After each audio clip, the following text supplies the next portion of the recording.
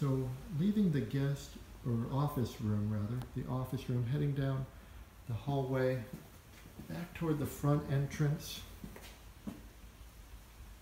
And today's a beautiful day for all these doors and windows to be open. It's a gorgeous day. You have the garage.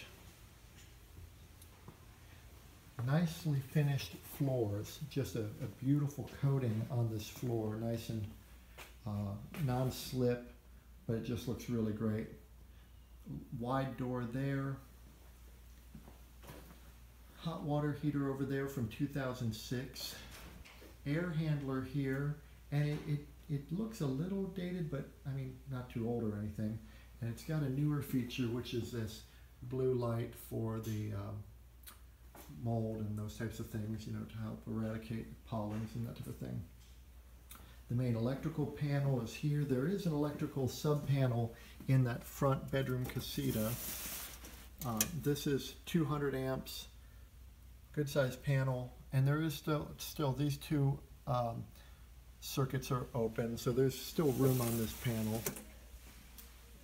These doors uh, are insulated, so so this is nice when the sun is hitting this in the morning. This garage won't get too warm.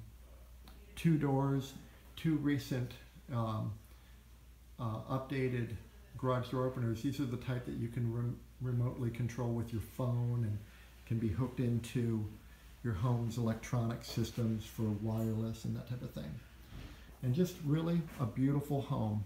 Attic access up above.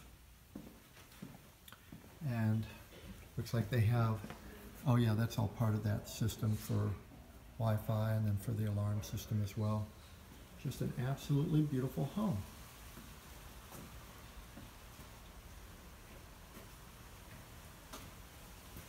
Really lovely.